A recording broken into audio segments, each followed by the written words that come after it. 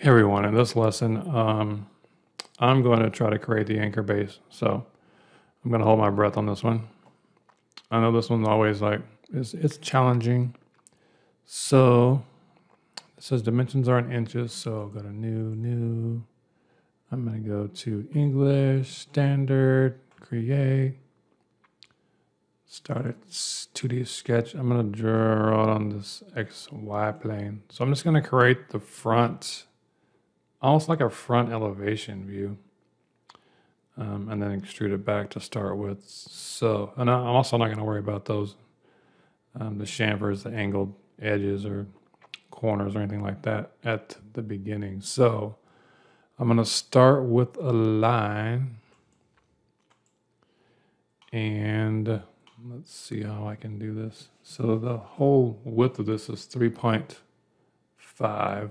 So maybe I'll just start with that. So I'll go here, come over 3.5. I'm going to go up. That's 0.5. 0.5 here. I'm going to come over to the left. That's 0.75. I'm going to go straight up. That is 2.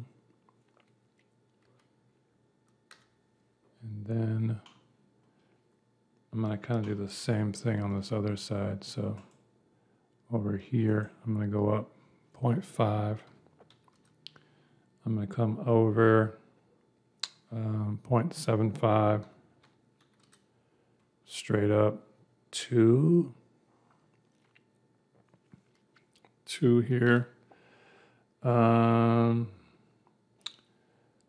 that's going to be 0.5. It's going to be 0.5 here. And then down.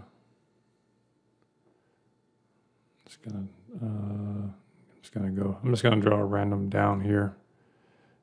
I'll just do a random to the right, straight up, and then over. I'm going to dimension this is going to be 0.5 that should be one in between here. Let me see what it is.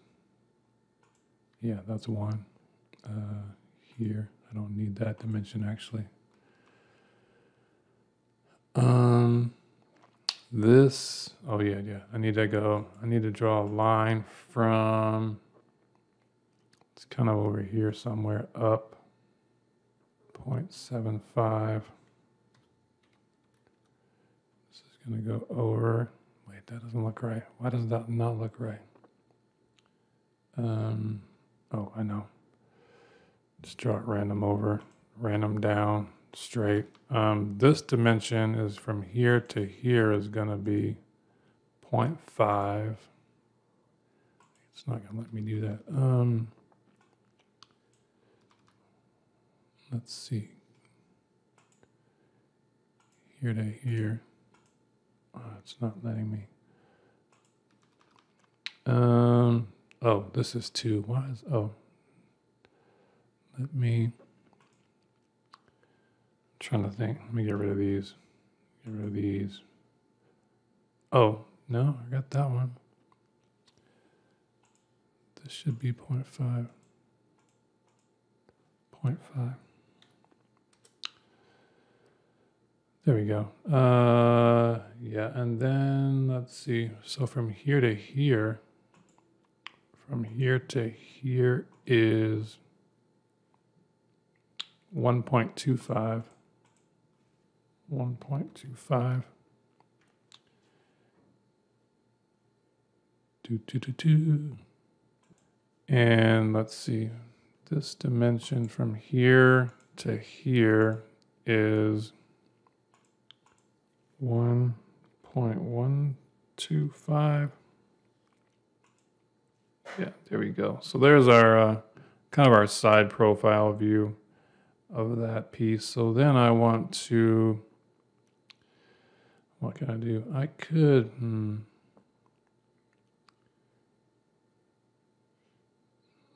let me dimension. I'm to dimension from here to this origin here, make that zero. So we can move this whole thing over. And yeah, I'll do that. So I'm going to finish my sketch here. I'm going to extrude this back, this piece back. That has a, let's see what that distance is.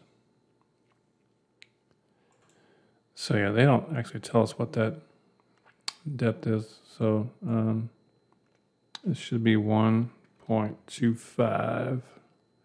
I'm gonna hit the OK there. We got a kind of an H. I like it. Kind of fancy looking H shape. So then what we can do is I'm going to, um, I'm going to start a sketch on this kind of top plane here. I'm going to draw a circle just randomly on here.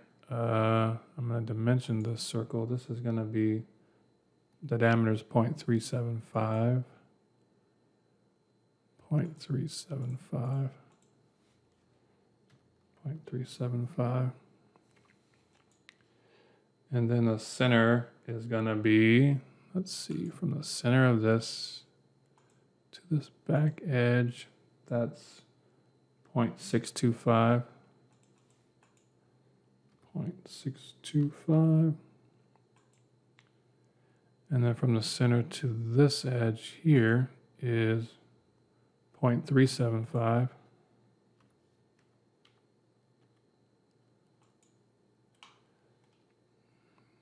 And then while I'm at it, I can also create one over here.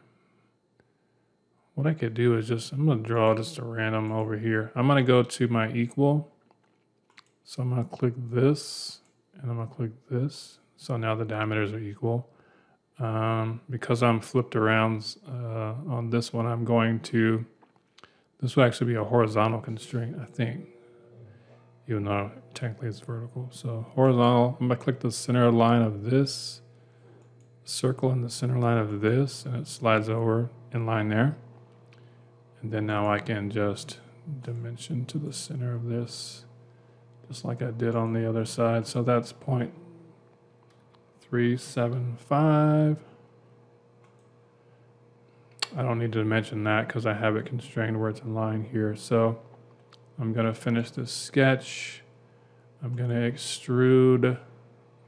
Let's see if I can grab that circle, even though I can't see it. I'm going to grab that one. And this one, I'm going to use the cut feature. I'm going to cut through all and hit OK. So there's that part. All right, so now I'm going to do something a little fancy here um, to kind of chamfer these corners off. Uh, I'm going to use the chamfer tool here.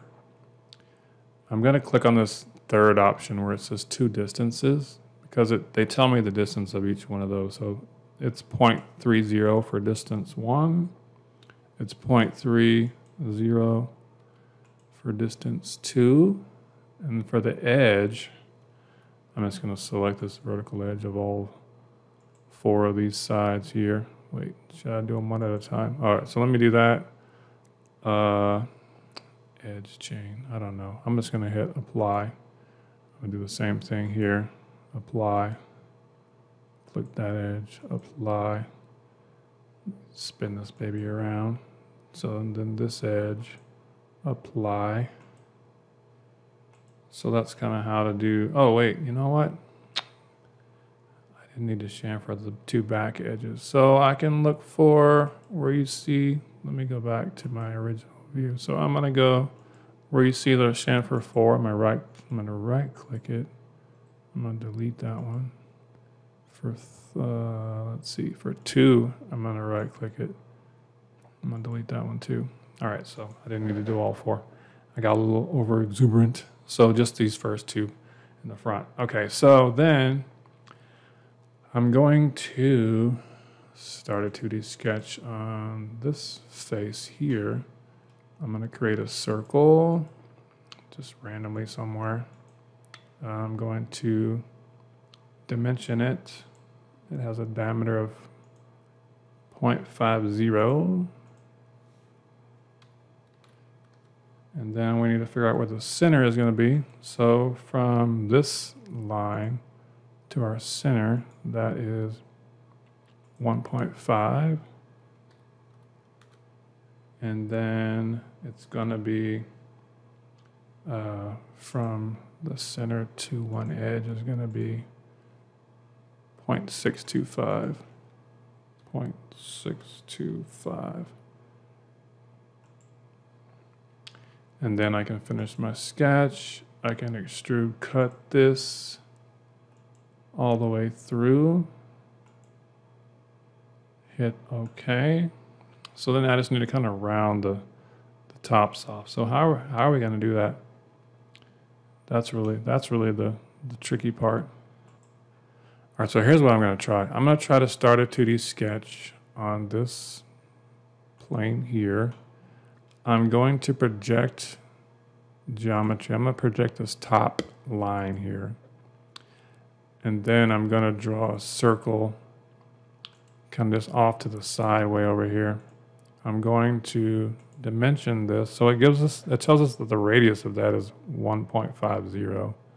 So again, I'm just going to I'm going to right click, change my dimension type to radius. And then I'm going to change this to 1.50. So what now what I want to do is I want to move this um, circle to where, let me hit the escape a couple times, move my circle to where the, the top of it is touching kind of the top, the very top of that or the top of the circle is, is, is tangent to that line up there. So I just kind of move this over from the center point to where it kind of locks in the center here. And then what I'm going to try to do is I'm going to try to hit this tangent constraint. So I want to click the line first and then my circle and it raised it up. And as long as your, your center is, is in line with the center of this circle here. So I could also project geometry. I could project that to get those that center there. And as long as these are lined up, which I could use the, um, in this case, the horizontal constraint. So here, actually it's the vertical. I need this one and this one. And so they're lined up. So now um, I can trim Let's see, how can I do this? I want to trim, uh, I want to trim this. Yeah, I also need to, I need to project geometry. I need to project these and that, and then I can trim, hopefully, this side, yeah. So then, I'm not sure this is going to work. I'm going to finish my sketch. I want to see if I can extrude cut the tippy top here and the tippy top there. And I want to cut it all the way back through all like so. It kind of shaves off the top there. So yeah, that was a little tricky, a little challenging, but I mean, there's different ways you can do that. But, you know, that worked. So I'm going to save this as anchor base anchor base. Do I already have one of these? If I already have one, I'm just going to call this inventor anchor base just to make it different. Because I, I already have one from some reason from like what is that February? Anyway I'm going to save it as inventor anchor base and then I'm going to um, fix all these Ground plane. No, I don't care about the ground plane. Uh, shadows, yes. Photo booth. Color it. With my smooth ivory. And then save that. All right, so there we go. So that, that was kind of fun though. I like challenges. I don't like impossible challenges, but I like challenges. Anyway, so the next one that we'll do is the uh, the wedge block, and that's gonna that's gonna pose another challenge, but we're gonna get through it.